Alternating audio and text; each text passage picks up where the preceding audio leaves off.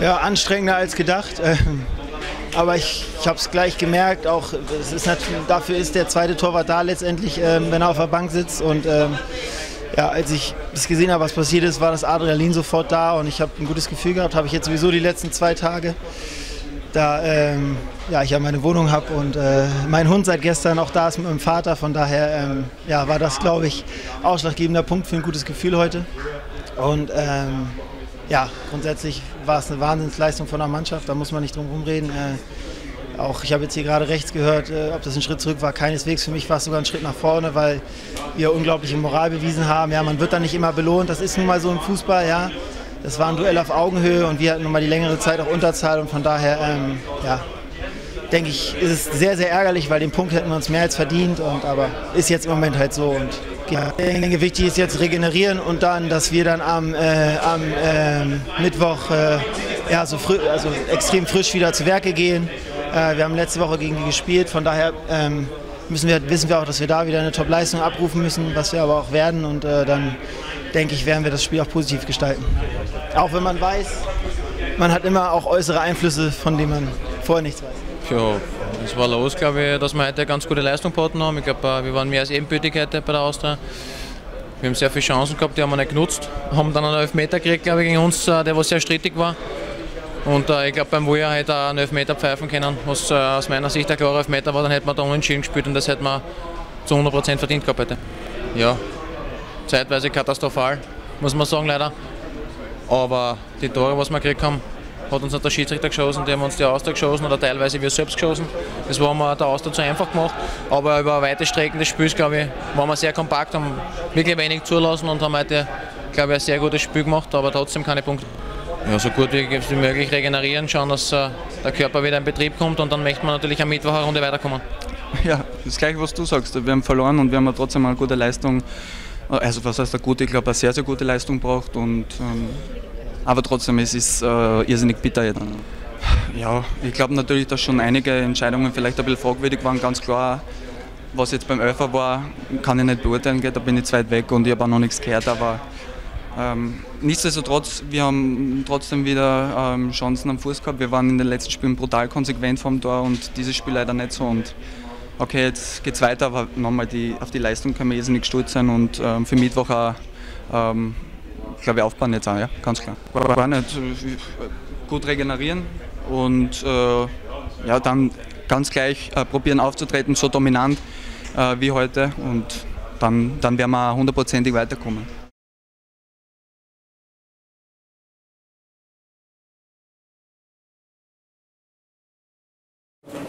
Herzlich willkommen zum, zur heutigen Pressekonferenz nach dem Nachmittagsspiel um 16.30 Uhr. Bundesliga Graz gegen FK Austria Wien. Ich darf den Gästetrainer Nenad Bjelica begrüßen und ihm gleichzeitig zum Sieg gratulieren und unseren Trainer Darko Milanic. Nenad, ich darf dich gleich bitten, das Spiel zu analysieren. Ja, danke schön. Äh, ja, okay. Wir haben uns heute äh, ein Spiel gefunden, äh, gespielt gegen einen sehr starken Sturm, vielleicht der beste Sturm in dieser Saison. Natürlich haben sie uns erwischt nach, eine, einem Spiel, wo wir uns wirklich ausgeleert haben, körperlich und mental. Und zusätzlich haben sie tolle Leistung gebracht und das war, deswegen war erwartet, wie erwartet ein sehr schweres Spiel für uns. Haben wir große Glück gehabt. Dieses Glück haben wir in den letzten zwei, drei Spielen zu Hause nicht gehabt. Heute ist zurückgekommen und äh, bin natürlich sehr froh, dass wir gewonnen haben und dass die Jungs äh, wirklich 95 Minuten körperlich sehr hart gearbeitet haben. Danke, Daco. Gratulation zur starken Leistung. Ich darf dich bitten, ähm, das war wirklich ein, ein, sehr gutes Spiel von unserer Seite gegen klar starke Gegner, gegen Meister. Äh, das ist äh, wirklich ein enormer Schritt nach vorne, was habe ich gesehen, zuletzt gesehen, auch heute. Äh, Fans haben das äh, gespürt, dass, äh, die waren mit uns. Äh, so eine Mannschaft möchte ich sehen auch in Zukunft, aber eine Mannschaft, die äh, klar, die kriegt kein Tor, weil leider haben wir, haben wir zwei Tore gekriegt und äh, gehen wir nach Hause ohne Punkte. Leistung war okay und äh, bin im Prinzip nur mit Resultat total unzufrieden, sonst mit, mit Einstellung, mit, äh, mit Mut. Wir haben die gespielt, auch beim, mit einem Mann weniger. Das war alles okay. Darf ich mal Fragen bitten? Was mir auffällt, ist, dass die Mannschaft von Graz unmittelbar nach Gegentreffern ein wenig zurückkommt. Sehen Sie es auch so? Wie noch einmal? nach, nach Gegentreffer, das, das vielleicht aber ganz kurz, das ist auch, auch äh, im Prinzip normal, dass äh, äh das ist, wann passiert ein Fehler, dass, äh, das bist du so unruhig, weil, weil Mannschaft äh, hat, hat hinten im Prinzip nicht so extrem große Erfolge. Das bedeutet, das ist nicht extrem psychisch stark und kann passieren, dass bist du einige Minuten da vielleicht ein bisschen ruhig, aber in, in gesamter Mannschaft habe ich wenig Phasen gesehen, wo waren wir schlecht.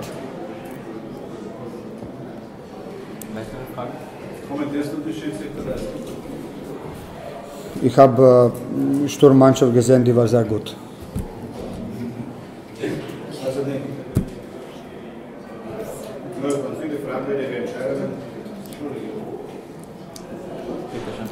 Weil weißt du, was komisch war in der ersten Halbzeit? Das, ich, ich, ich, rede über, ich rede mit viertem Mann, aber wirklich korrekt, ohne. Äh, und äh, ich rede aber mit meinen Mitspielern, rede ich sehr laut, ist klar, weil die sind weit weg und so. Und der ist zu mir gekommen und hat gesagt, noch einmal, das sage ich was, fliegst du, äh, fliege ich weg. Aber ich habe kein Wort zu ihm gesagt, das bedeutet, das war vielleicht das alles zu viel für ihn. Einfach zu viel.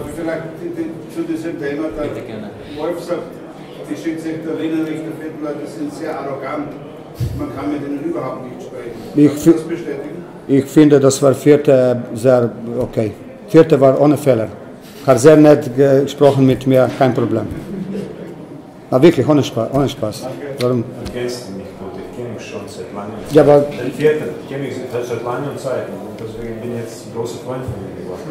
Aber ich habe gleiche Erfahrung wie du erst mal. Das ist wie Sheriff, oder? Ich brauche nur Sheriff stellen.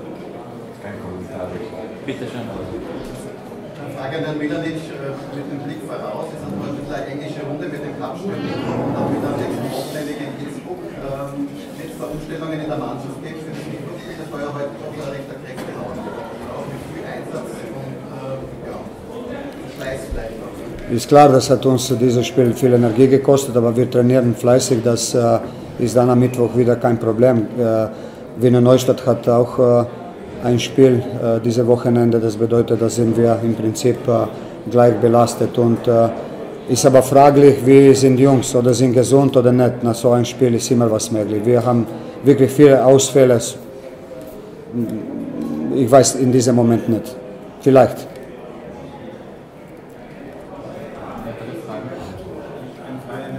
Wie ist das jetzt am Dienstag Cup Karlsdorf im Moment momentanen Rhythmus? Muss man da schauen, dass man also viel wie möglich rauskriegt aus der Mannschaft, die jetzt so weit Zudem gibt es ja wieder drei Verletzte dazu. Ja, also, wieder drei dagegen.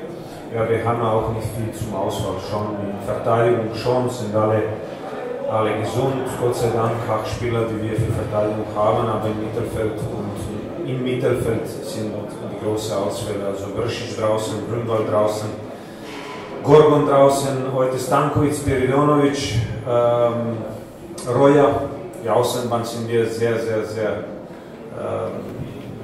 sehr wenige Spieler haben wir zur Verfügung. Aber wir werden schon was uns einfallen lassen und äh, hoffen, hoffen wir natürlich auf eine tolle Leistung am Dienstag wieder. Aber wie gesagt, das ist vierte Spiel in zehn Tagen, dann kommt Admira, dann kommt wieder Zenit-Spiel, dann Salzburg-Spiel. Das ist ein schweres Programm, drei Wochen, sieben Spiele, aber wir wollten Champions League spielen, deswegen haben wir das überlassen.